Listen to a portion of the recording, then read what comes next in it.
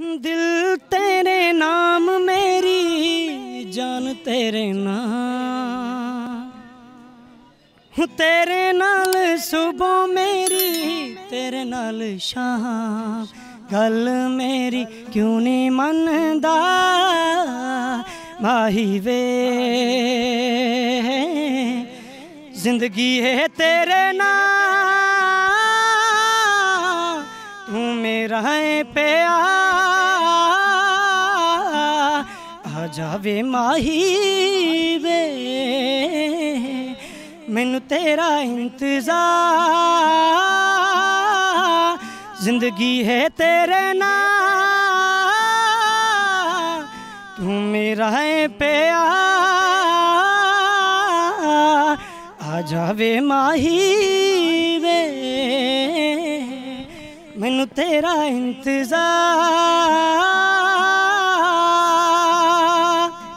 ਅੱਖੀਆਂ ਨੇ ਹੰਝੂਆਂ ਦੀ ਕੀਤੀ ਬਰਸਾਤ ਸੋਨੇ ਦਰਦਾਂ ਤੇ ਲੂਣ ਲਾਇਆ ਤੇਰੇ ਗਮਾਂ ਨੇ।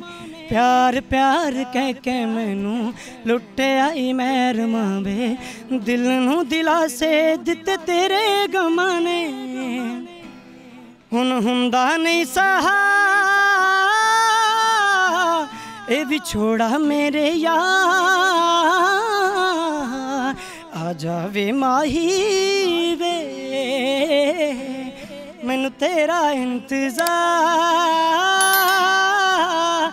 ਜ਼ਿੰਦਗੀ ਹੈ ਤੇਰੇ ਨਾਲ।